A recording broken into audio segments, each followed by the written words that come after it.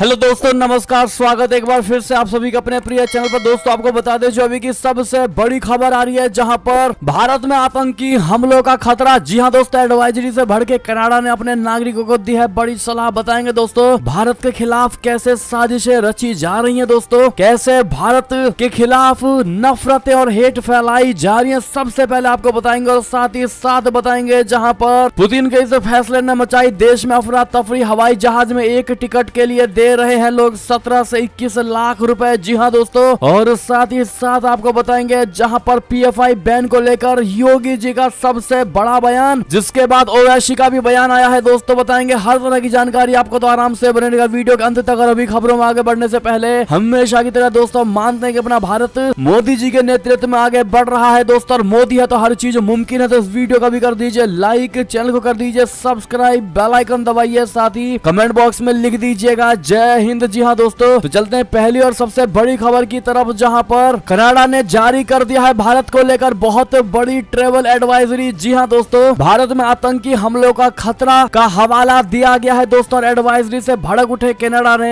ये सलाह दी है। आपको बता दे, क्या है पूरी बात? कनाडा ने भारत जाने वाले अपने नागरिकों को सलाह दी है की वे सीमांत राज्यों जैसे पंजाब, राजस्थान और गुजरात में न जाए। कनाडा सरकार ने कहा है की इन इलाकों में भूमिगत विस्फोटकों और सुरक्षा का खतरा है। कनाडा ने अपने नागरिकों के लिए जारी एडवाइजरी में कहा है कि पाकिस्तान की सीमा से 10 किलोमीटर की दूरी तक के इलाकों में ना जाएँ। गुजरात, राजस्थान और पंजाब के इन इलाकों में लैंड माइंस और विस्फोटक का खतरा है। यहाँ सुरक्षा को लेकर गंभीर खतरा हो सकता है। कनाडा की एडवाइजरी चौंकाने वाली है। जी हाँ दोस्तों, ऐसा माना जा रहा है की कनाडा में हेट क्राइम की आशंका को लेकर भारतीयों के लिए सरकार की ओर से जारी एडवाइजरी के जवाब में ये कदम उठाया गया है। इसीलिए कनाडा सरकार के फैसले पर सवाल खड़े हो रहे हैं। दोस्तों। कनाडा सरकार ने 27 सितंबर को अपनी वेबसाइट पर जारी की गई एडवाइजरी में कहा है कि वे भारत दौरे के वक्त पूरे देश में ही सावधानी से यात्रा करें। कनाडा ने अपने एडवाइजरी में कहा है कि भारत के हर इलाके में आतंकवादी हमलों का खतरा है। हालाँकि लद्दाख को इससे बाहर रखा गया है। जी हाँ दोस्तों, कनाडा ने अपने नागरिकों को सलाह दिया कि वे मणिपुर और असम जैसे पूर्वोत्तर के राज्यों में ज़रूरी न हो तो जाए, न जाए। कनाडा ने कहा कि इन दोनों राज्यों में आतंकवाद और विद्रोहियों के हमलों का खतरा है। यानी कि दोस्तों, कहीं ना कहीं कनाडा का कहना है कि भारत पाकिस्तान बॉर्डर से दूर रहना है, क्योंकि दोस्तों, अब बात विवाद चाहे कुछ भी हो, लेकिन इससे एक चीज़ तो क्लियर है दोस्तों, कि कनाडा को भी पता है कि भारत में अगर हमले होंगे तो वो पाकिस्तान ही करवाएगा, क्योंकि भारत पाकिस्तान के बॉर्डर से दूर रहने की एडवाइजरी जारी की गई है दोस्तों, ना कि पूरे भारत से दूर रहने की। ऐसे में पाकिस्तान आतंकवाद को पालता है दोस्तों, और पाकिस्तान ही आतंकवादी हमले करवाता है। इन खबरों से और इन एडवाइजरी से ये पूरे तरीके से दोस्तों प्रूव्ड हो चुका है। मानते कि नहीं आप लोग बताइएगा ज़रूर। और कनाडा के सरकार द्वारा जिस प्रकार से एडवाइजरी जारी की गई है दोस्तों, क्या लगता है आपको इस एडवाइजरी से कुछ होने वाला है? क्योंकि भारत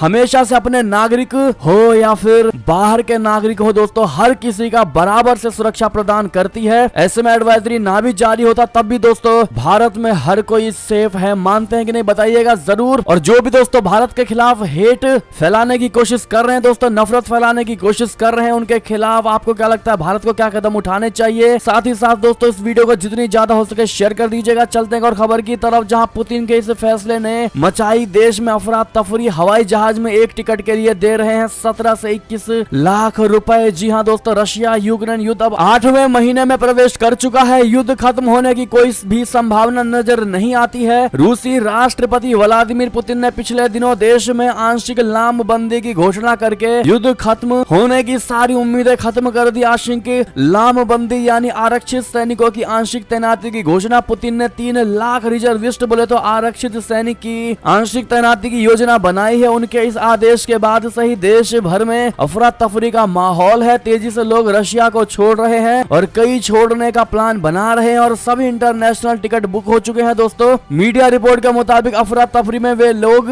जिनके पास पैसा है, वो आर्मेनिया, तुर्की और अजरबैजान तक पहुँचने के लिए निजी विमानों में बुकिंग कर रहे हैं और इसके लिए एक टिकट पर 17 से 22 लाख रुपए चुका रहे हैं। द गार्जियन की रिपोर्ट के अनुसार आठ सीटों वाले जेट को किराए पर लेने की कीमत अस्सी हज़ार पाउंड से लेकर एक लाख चालीस हज़ार पाउंड के बीच पहुँच गई है। दोस्तों, जो सामान्य लागत से कई गुना है, ऐसे में दोस्तों, आप समझ पा रहे होंगे, जो लोग सत्रह से इक्कीस लाख रुपए एक टिकट के लिए दे रहे हैं, दोस्तों, वो कितनी जल्दी रशिया को छोड़ने की कोशिश कर रहे होंगे और क्या स्थिति होगी रशिया में? दोस्तों, इन अमाउंट से पता साफ़ चलता है, आप मान जानते कि नहीं बताइएगा, ज़रूर। लेकिन दोस्तों, युद्ध के समय में अपने देश को छोड़कर जाना, ये एक प्रकार से देशभक्ति तो बिल्कुल नहीं कहलाता। आपकी क्या राय है? साथ ही साथ दोस्तों, बड़ी खबर बता दें, जहाँ जयशंकर जी ने वीज़ा में देरी का मुद्दा अमेरिकी विदेश मंत्री ब्लिंकिन के समक्ष उठाया। जी हाँ दोस्तों, विदेश मंत्री एस जयशंकर जी ने अमेरिका के विदेश मंत्री एंटनी ब्लिंकिन जी के समक्ष भारत से अमेरिकी वीज़ा आवेदनों के काफ़ी समस्या में लंबित होने का मुद्दा उठाया है। इस पर शीर्ष अमेरिकी राजनयिक ने कहा कि वो इस मामले के प्रति संवेदनशील हैं और इसे सुलझाने के लिए उनके पास योजना है। ब्लिंकिन ने भारतीय नागरिकों के वीज़ा आवेदनों के लंबित होने के लिए कोविड 19 महामारी को जिम्मेदार ठहराया है। जी हाँ दोस्तों, एक और खबर की ओर चले, जहाँ पर लंदन में पाकिस्तानियों ने अपनी ही मंत्री को दौड़ाया, कहा चोरनी चोरनी। जी हाँ पाकिस्तान की सूचना मंत्री मरियम औरंगज़ेब पिछले दिनों लंदन में जब एक कॉफ़ी शॉप में गई तो ब्रिटेन में रहने वाले कुछ पाकिस्तानियों ने उन्हें घेर लिया और इस घटना के कई वीडियो सोशल मीडिया पर खूब शेयर हुए। दोस्तों, वीडियो में विदेशी पाकिस्तानी मरियम औरंगज़ेब को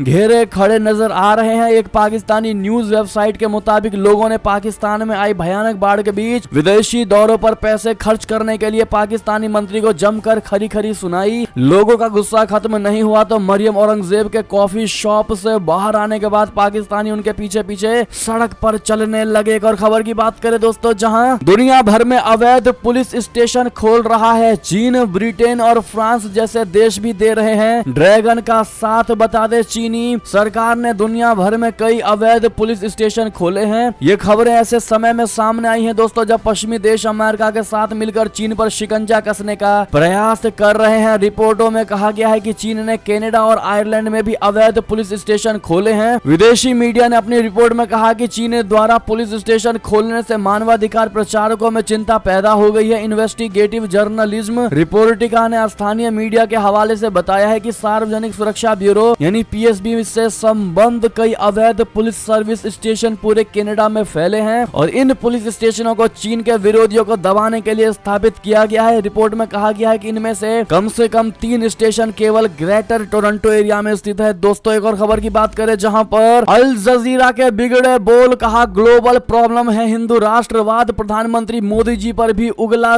जहर। जी हाँ दोस्तों, अल जजीरा चैनल में एक लेख छपा है। जिसमें हिंदू राष्ट्रवाद को दुनिया के लिए एक बहुत बड़ा खतरा बताया गया है। दोस्तों, इसमें प्रधानमंत्री नरेंद्र मोदी जी, भाजपा व विश्व हिंदू परिषद को दुनिया में प्रचार प्रसार के लिए जिम्मेदार बताया गया है। अल जजीरा ने हाल ही में ब्रिटेन के लिसेस्टर में हुई घटना के पीछे भी इसे ही वजह माना है। साथ ही ये कहा गया है की हिंदुत्व का प्रचार, पॉलिटिकल फिलासफी बिल्कुल नए अंदाज में सामने आ रही है और इसकी जड़े भारतीय शहरों की गलियों में होने वाली हिंसा से जुड़ी है। ये लेख सोमदीप सेन ने लिखा है। दोस्तों, सेन डेनमार्क की रास किल्डे यूनिवर्सिटी में इंटरनेशनल डेवलपमेंट स्टडीज़ के असिस्टेंट प्रोफेसर है। उन्होंने लिखा है कि 17 सितंबर को लिसेस्टर गलियों में एक युवा हिंदू जय श्री राम के नारे लगाता हुआ आगे बढ़ता ये अब हिंदू राष्ट्रवादियों का युद्ध घोष जैसा हो गया है। आर्टिकल में लिखा है कि यही वो हट्टा कट्टा हिंदू गर्व और अंध देशभक्ति है, जिसकी अपेक्षा हिंदू राष्ट्रवादी हमेशा से करते आ रहे हैं। यानी कि दोस्तों, फिर एक बार भारत को लेकर, प्रधानमंत्री नरेंद्र मोदी जी को लेकर दोस्तों हेट स्पीच दिया गया है। दोस्तों, भारत को लेकर नफरत फैलाई गई है, वो भी किसी और के द्वारा नहीं, बल्कि अल जजीरा के द्वारा। जी हाँ दोस्तों ऐसे में क्या लगता है आपको? क्या भारत को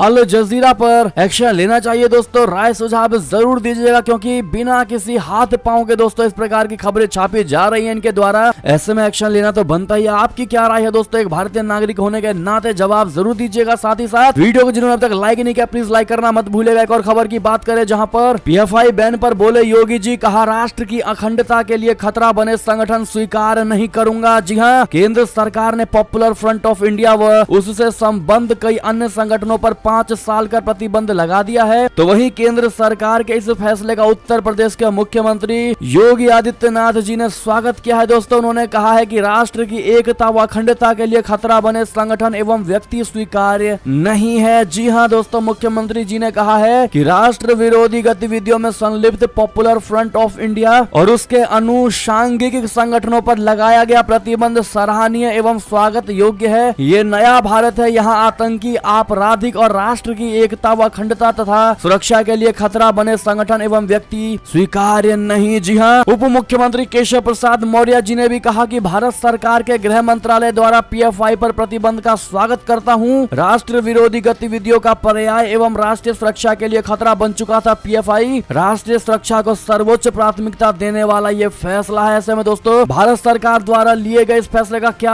आप स्वागत करते हैं? बताइएगा ज़रूर। क्या बिल्कुल सही फैसला लिया गया है? दोस्तों हाँ या ना में जवाब ज़रूर दीजिएगा। साथ ही साथ आपको बता दें दोस्तों, जब भी कहीं कोई सही फैसला लिया जाता है, वहीं पर ओवैसी का बयान उस फैसले के विरुद्ध आता ही आता है। दोस्तों, ऐसा ही एक और बड़ी खबर है, जहाँ पर ओवैसी ने कहा, पीएफआई बैन को लेकर कि पीएफआई की सोच सही नहीं, लेकिन उस पर प्रतिबंध लगाना गलत है। दक्षिण पंथी संगठनों पर बैन क्यों नहीं लगाया? जी हाँ दोस्तों एआईएमआईएम के अध्यक्ष असदुद्दीन ओवैसी ने पीएफआई पर बैन को लेकर कड़ी प्रतिक्रिया दी है। उन्होंने कहा कि पीएफआई की सोच का हम पहले से विरोध करते आए हैं, लेकिन इस पर प्रतिबंध बिल्कुल गलत है। उन्होंने कहा कि अपराध करने वाले कुछ व्यक्तियों के कार्यों का मतलब ये नहीं है कि संगठन को ही प्रतिबंधित किया जाए। सरकार दक्षिण पंथी बहुसंख्यक संगठनों पर बैन कब लगाएगी? उन्हें संरक्षण क्यों दिया जा रहा है? समय दोस्तों, ओवैसी के इस सवाल का जवाब आप लोग कमेंट में ज़रूर दीजिएगा। जो ओवैसी सवाल पूछ रहे हैं, दक्षिण पंथी बहुसंख्यक संगठनों पर बैन को लेकर दोस्तों, ऐसे में आपका जवाब तो बनता ही और साथ ही साथ दोस्तों, इतना ही नहीं, आपको बता दे, ओवैसी के बाद अब पाकिस्तान से भी पीएफआई बैन को लेकर सबसे बड़ी खबर है दोस्तों, और सबसे बड़ा बयान दिया गया है, आपको बता दें कि पाकिस्तान के कॉन्सुलेट जनरल का बड़ा बयान आया है। दोस्तों, उन्होंने कहा है कि सरकार ने, यानी भारत की सरकार ने, इसको बैन लगाने के पीछे सबसे बड़ा कारण यही है कि वो लोकतांत्रिक अधिकारों का हनन करके अपने आप को बचाने की कोशिश कर रही है। जी हाँ दोस्तों, पाकिस्तान का ये बयान